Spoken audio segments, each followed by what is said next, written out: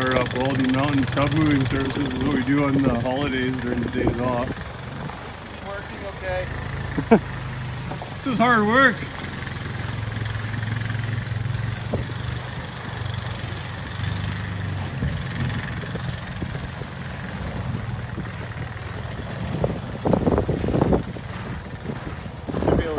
Get